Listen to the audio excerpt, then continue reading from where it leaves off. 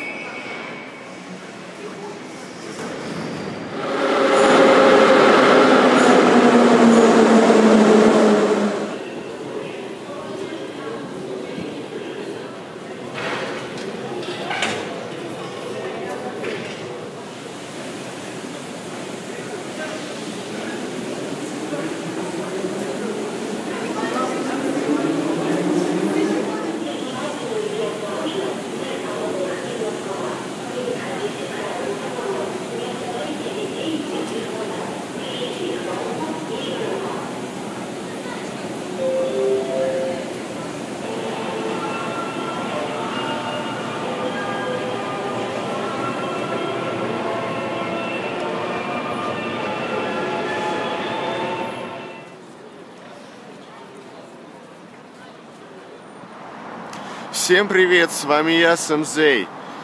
Итак, возобновляется рубрика путешествия по Москве. Итак, начинаем опять со станций московского метрополитена. Итак, станция Фрунзенская, станция Сокольническая линия, расположенная между станциями Парк культуры и Спортивная. Открыта 1 мая 1957 года. Фрунзенская является одна из последних станций в стиле сталинского ампира. Фрунзенская названа в честь одноименных улиц, одноименных улиц и набережной. Первая, вторая Фрунзенская улица и Фрунзенская набережная. А они, в свою очередь, названы в честь военного партийного деятеля Советского Союза Михаила Фрунзе.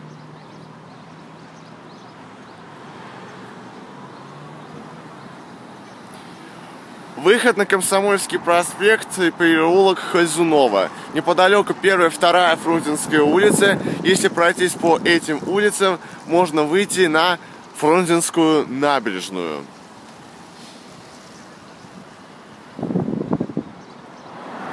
Итак, Комсомольский проспект. Тоже одна из э, проспектов, которая выливается на одну из вылетных магистралей.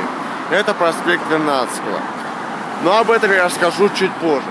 А пока мы вместе со мной прогуляемся по Комсомольскому проспекту на участке от станции метро Фрунзенская до станции метро Парк культуры, кольцевая и сокольническая линия.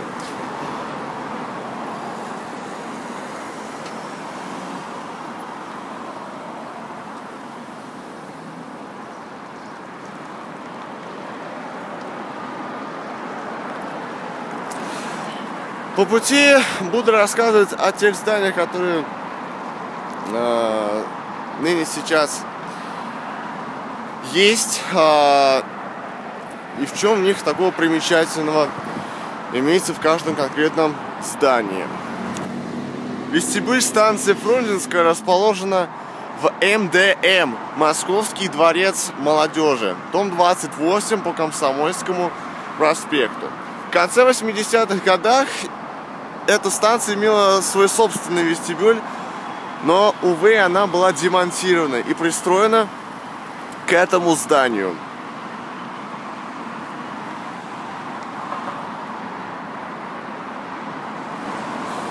Еще рассказывается о каком-то жилом доме Дом 28. Наверное, скорее всего, либо это другое здание, либо, увы, жилой дом номер 28 не сохранился. А, здесь жил театральный режиссер Андрей Гончаров 1918-2001 годы жизни. Участвовал в первом фронтовом театре ВТО, Московском театре сатиры, театре Ермоловой, Малом театре, театр-студия киноактера, Московском драматическом театре на Малой Броны и Академическом театре имени Владимира Маяковского. Расскажу про почему так называется Фрунзенская? Проектное название станции была Хамовническая. В честь одноименной Хамовники, современный район. А они, в свою очередь, названы в честь э, хамовных слободов 17-18 веков. Хамонческая набережная – Первая Хамовническая, вторая Хамовнические улицы существовали, когда появилась советская власть. До 1956 улицы до 28 года набережные названы Хамовническими. Когда начали упоминать выдающихся деятелей, военных, партийных в Советском Союзе, некоторые улицы были переименованы – честь Михаила Фрунзе, военного партийного деятеля Советского Союза. Была еще попытка переименовать улицу Холомческий вал.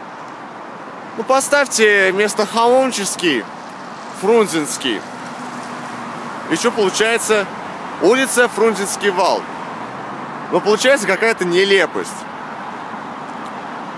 И поэтому от этой, от этой названия улицы отказались и вернули. Исконно московское название улицы. Улица Хамонческий вал.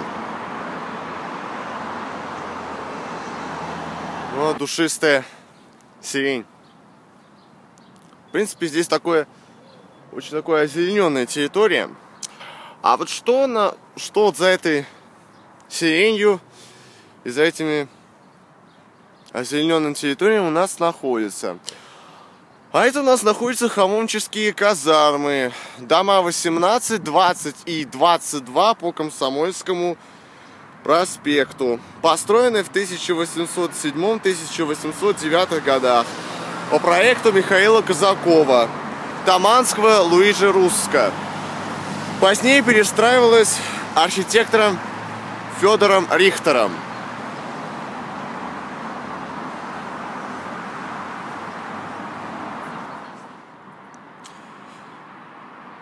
Дом 23, дробь 7 по Комсомольскому проспекту, в принципе, она ничем не примечательна. Обычный жилой дом.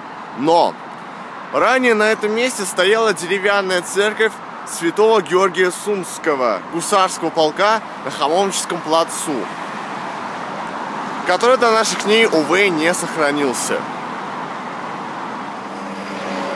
Следующее примечательное здание на нечетной стороне Комсомольского проспекта – Дом 21, дробь 10. В этом здании находится кинотеатр «Горизонт», построенный в 1966 году.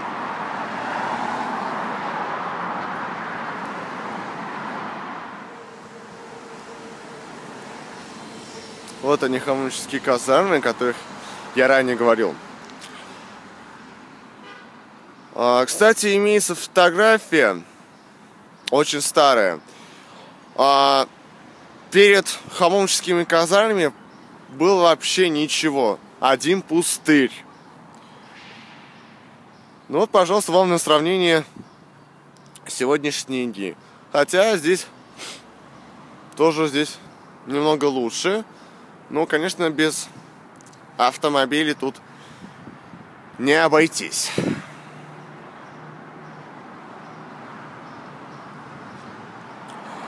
Вот вы видите четырехэтажное здание, да?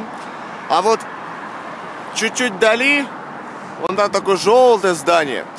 Это дом 19А по Комсомольскому проспекту. Это здание Гауптвахта, построенное в 1808 году.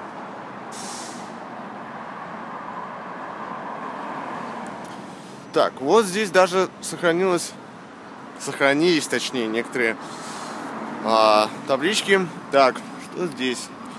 Адрес 1812 года Хамонческие казармы, построенные в 1808 в 1800-е годы по проекту «Русско» для размещения трех полков. Летом 1812 года Хамонческие казармы стали сборным пунктом Московской военной силы ополчения. В составе ополчения прошел войну Жуковский, принял участие в Бородинском сражении Вяземский, Полк, в котором записался Грибоедов, оставил Москву одновременно с регулярной армией. Так, ну вот еще здесь. А, ну вот как раз об этом говорится. Здесь во время Отечественной войны 1812 года формировались полки московского ополчения.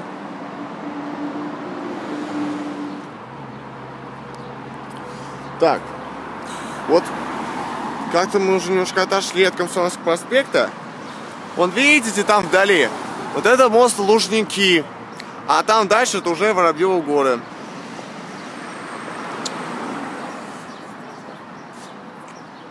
Так, ну что ж, продолжаем гулять по Комсомольскому проспекту. А, преследование в центр, Комсомольский проспект – выливается сначала на улицу Остоженко и продолжается до станции метро Кратплоткинская, Сокольническая линия или Храм Христа Спасителя. А потом вливается на улицу Волхонка и, и вливается уже на Боровицкую площадь и, соответственно, и на Маховую улицу. Это если следовать центром. А если следовать из центра, то Комсомольский проспект сначала вливается в мост Лужники. Кстати, мост Лужники это не, это не только автомобильный мост, а еще и метромост. Проходит Сокольническая линия метро и расположена станция Воробьевы горы. Это самая высокая станция на московском метрополитене, расположена на высоте в 10 метров. И самая, самая длинная э, станция на московском метрополитене. Длина платформы больше 200 метров. Потом после э, моста вливается на проспект Вернадского. Проходит через станции э, Сокольническая линия метро и вливается э, в Ленинский проспект в районе станции метро Тропарева Сокольническая линия.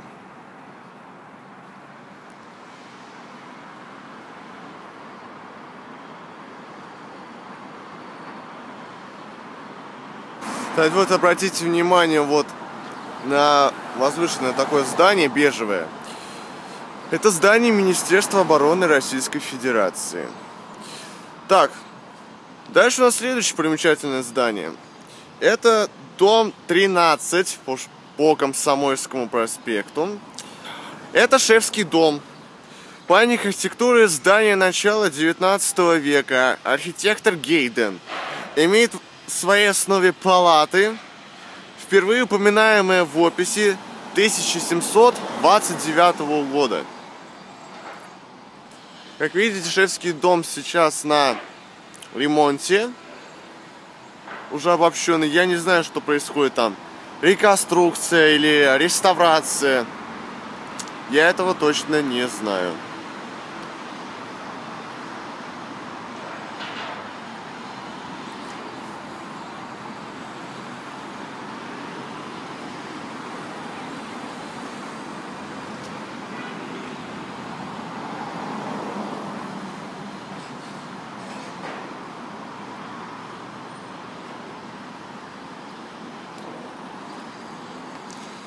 Так, ну что, мы упираемся на улицу Тимура Фрунзе. Я так понимаю... А, нет, Тимур Фрунзе у нас будет чуть дальше. Так, возникает вопрос, что это тогда это за улица. Хотелось бы очень знать. Так, вот еще примечательно. Комсомольский проспект, дом 16, дробь 2. Вот, об этом что-то здесь говорится. Так, это тоже гауптвахта. Начало тоже 19 век.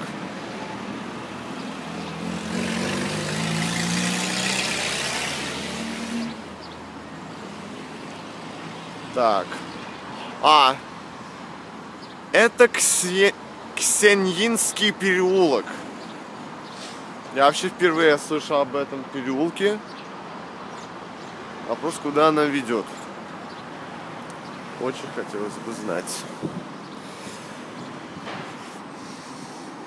Ладно, пойдемте дальше. Так, значит, у нас улица Тимура Фрунзе у нас будет чуть позднее. Мы подойдем к нему попозже. Так, ну что, продолжаем мы гулять по Комсомольскому проспекту. И дальше у нас никаких примечательных э, зданий особых нет.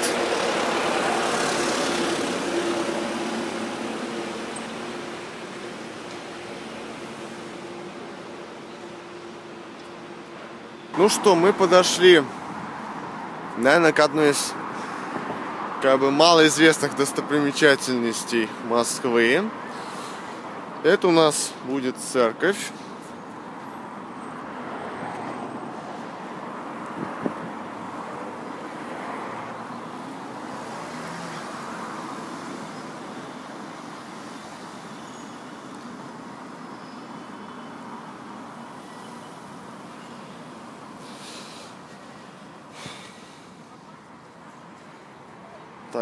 у нас церковь.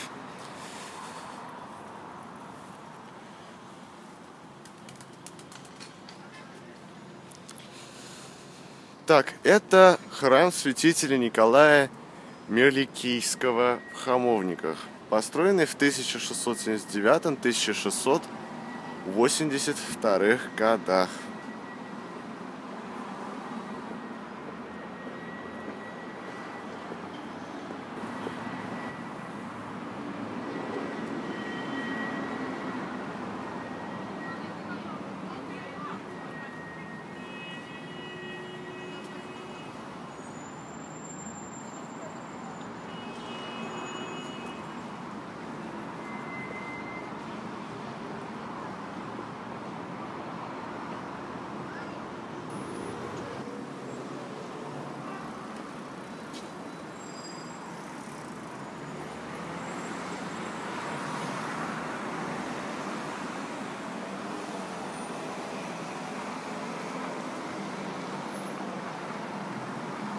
Ну что, мы добрались до пересечения с улицы Тимура Фрунзе.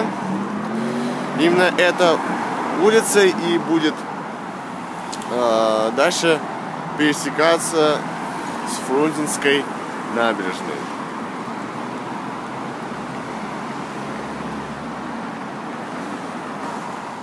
Так, ну и осталось у нас завершающее примечательное здание – это дом 3 по Комсомольскому проспекту. Это доходный дом Чудового монастыря, построенный в 1909 году. Архитектор Иван Машков. Первое упоминание и дата основания монастыря Чудова. Слушайтесь. 1365 год. Середина 14 века. Но, увы, Чудов монастырь до наших дней не сохранился.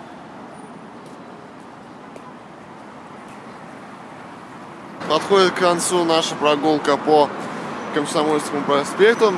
Как я и говорил, что Комсомольский проспект вливается э, в улицу Остоженко. Комсомольский проспект пересекается с Садовым кольцом. Неподалеку от станции метро Парк культуры кольцевая Сокольническая линия и неподалеку от Крымского моста, единственный навесной в Москве. Но не самые длинные в мире. Самые длинные в мире находятся в Соединенных Штатах Америки. Итак, станция Фрунзенская является, можно сказать, последней станцией, построенной в стиле сталинского ампира. Говорил я, что она была открыта 1 мая 1957 года, а это уже год правления Никиты Сергеевича Хрущева. Ранее вышло его постановление о борьбе с излишествами. Ну, станция как-то претерпела это постановление, вышло в этом сталинском образе. Никита Сергеевич Хрущев на десятилетие лишил Москву э, искусства западного, импортного. И любовались только вот на э, как бы не хочу упоминать фамилию. В общем, вы сами понимаете, о ком речь идет.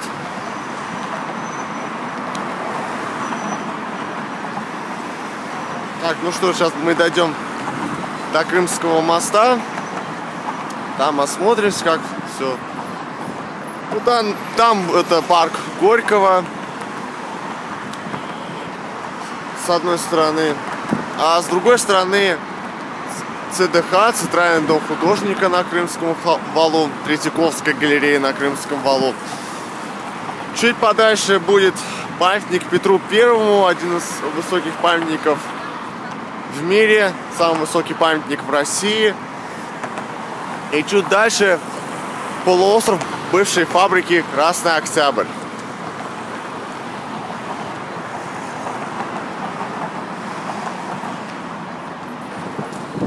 Я отправляюсь дальше путешествовать по Москве. Куда следите на канале. С вами был я, СМЗ. Подписывайтесь на канал. Не забывайте нажимать на колокольчик. Ставьте лайки, комментируйте. Спасибо, что смотрели. Пока.